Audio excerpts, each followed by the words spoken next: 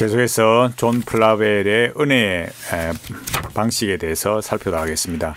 어, 원래 이 우리가 지금 살펴보고 있는 이 1장 은혜의 방편은 제목을 이렇게 번역을 이렇게 했지만 실제로 어, 영어 원문에는 보면 The General Nature of Effectual Application 어, Stated 이렇게 놨거든요. 그러니까 어, 그 하나님께서 구원 역사를 통해서 우리에게 베풀어 주시는 그 일반적인 그 적용의 효과적인 적용이 무엇이냐 아, 이렇게 말하고 있어요. 그 우리 이런 이렇게 어, 설명들은 좀 어쩌면은 약간 낯설 수 있지만은 어, 이 구원론을 그러니까 일장에서 구원론에 관해서 사실은 말하고 있다.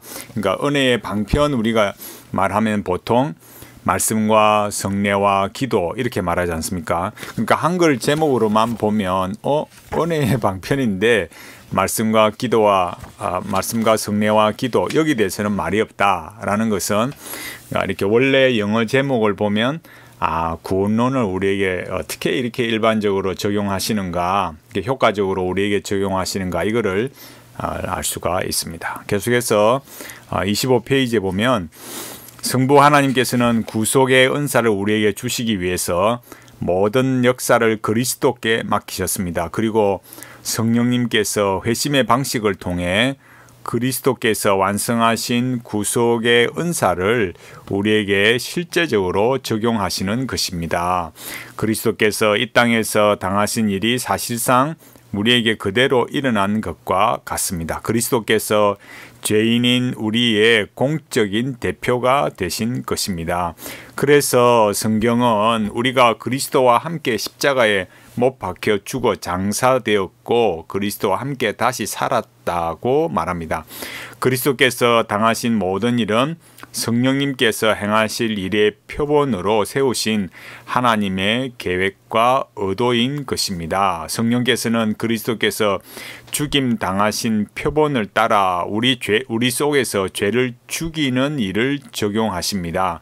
그러니까 지금 앞서 말한 대로 플라벨이 말한 대로 그리스도께서 당하신 일들을 똑같이 우리에게 일어나도록 적용을 시킨다 이거예요. 그러니까 우리가 구원을 받을 때 뭘 말하겠습니까? 예수님께서 십자가에 못 박혀 죽으심으로 그 죄를 죽이는 일을 하셨잖아요. 그러니까 우리가 어, 그리스도를 믿고 구원을 얻는 과정에 있어서 성령, 성령님께서 똑같이 그 죄를 죽이는 일을 하신다.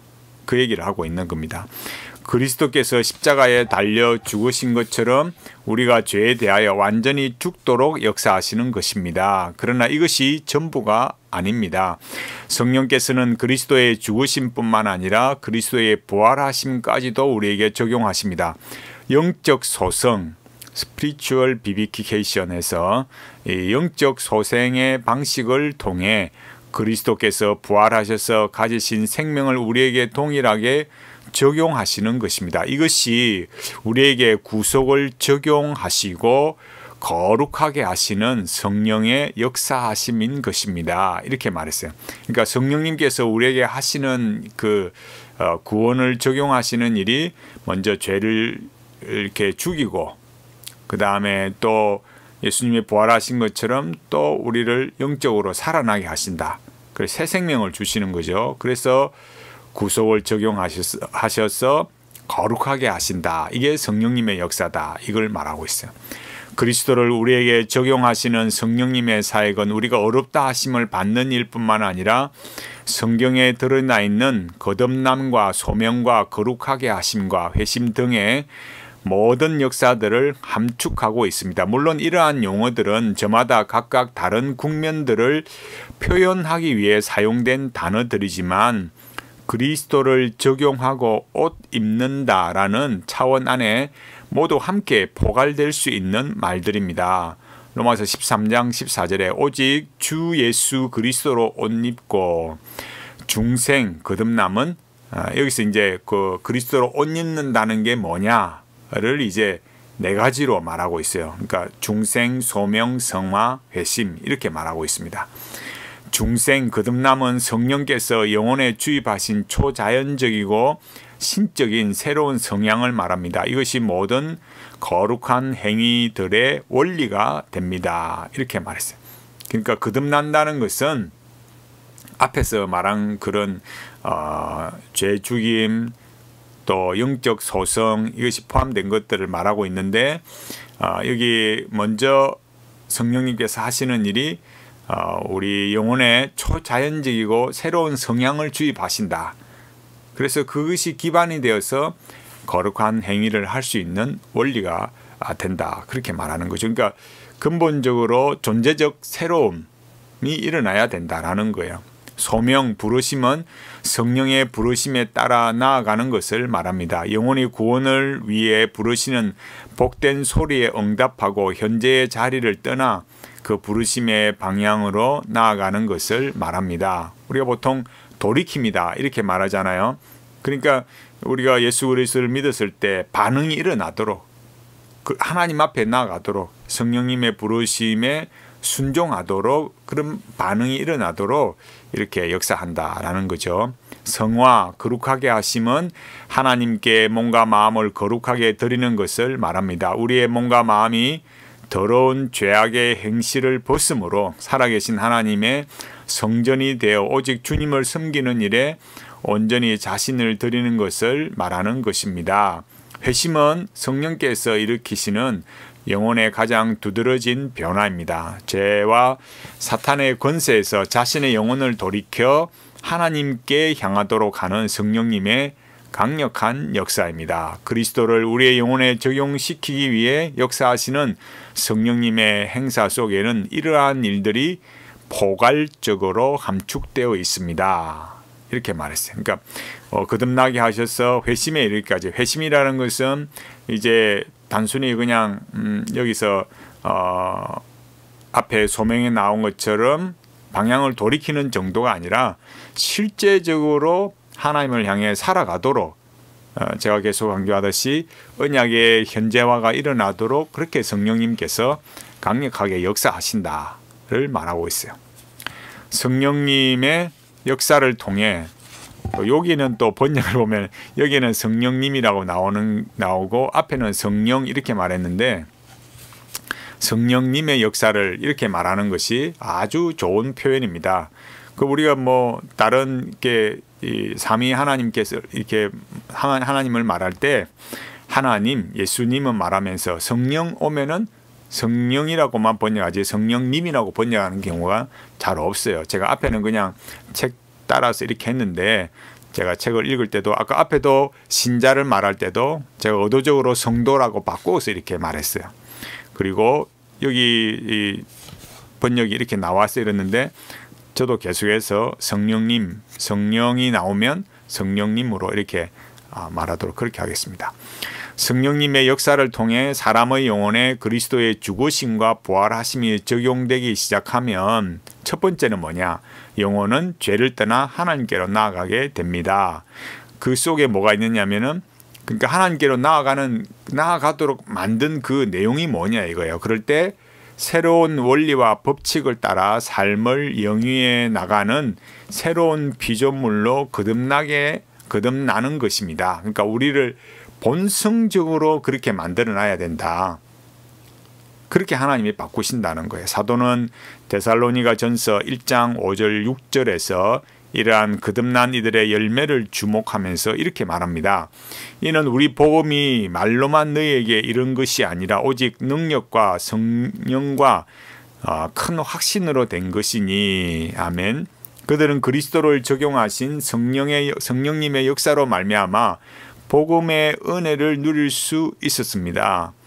또 너희는 많은 환란 가운데서 어, 성, 한란 가운데에서 성령의 기쁨으로 말씀을 받아 우리와 주를 본받는 자가 되었으니 그들에게는 부르심의 역사도 있었기 때문입니다. 그러니까 어, 이런 그리스도 안에서 이렇게 일어나는 모든 일들이 성령님께서 어, 은혜를 적용해 주신 결과다. 그래서 복음의 은혜를 누리고 그 부르심의 역사에도 역시 성령님께서 함께 하셨다를 말하고 있어요. 데살로니가전서 1장 9절에 너희가 어떻게 우상을 버리고 하나님께로 돌아와서 사시고 참되신 하나님을 섬기며 그리고 마침내 그들은 하나님께 헌신하는 삶, 바로 성화의 삶을 살게 되었습니다. 성령님의 역사하심을 통해서 말입니다. 이거는 앞에서 말했던 어, 로마서 13장 14절에서 어, 우리 오직 주 예수 그리스도로 옷 입고의 내용이 중생 소명 성화 회심이었는데 네, 이것을 데살로니가 교회의 성도들에게도 어, 이렇게 요 네 가지가 그대로 일어났다 이걸 말하고 있는 거죠. 그러니까 성령님의 역사하심 속에는 어, 결국 그 어, 거듭나게 하시고 그 거듭남이 마음에 뭘로 줬다고요? 새로운 원리와 법칙을 주셨다. 그렇게 해서 새로운 존재가 되어서 어, 하나님 앞에 이렇게 돌이키고 그 부르심에 응답하고 어, 하나님께 헌신하는 삶, 성화의 삶을 살게 되었다라는 거예요. 우리는 사람들의 영혼에 그리스도를 적용하시는 성령님의 역사하심 속에서 하나님께서 우리에게 가지신 위대한 계획과 구상을 발견합니다. 복음은 철저하게 하나님의 뜻을 위해 선언된 것입니다. 모든 복음의 규례들과 그를 위한 직임들은 그러한 위대한 임무를 위해 존재하는 것입니다. 사람들을 그리스도와 연합하도록 하고 그들을 그리스도 안에서 온전한 자로 세우기 위한 목적을 가지고 있는 것입니다. 에베소서 4장 11절 12절 그가 혹은 사도로 혹은 선지자로 혹은 복음 전하는 자로 혹은 목사와 교사로 주셨으니 이는 성도를 온전케 하며 봉사의 일을 하게 하며 그리스도의 몸을 세우려 하심이라. 아멘. 만약 이 목적이 온전히 완성되는 때가 온다면 복음을 위한 모든 직임자들은 더 이상 필요치 않을 것입니다.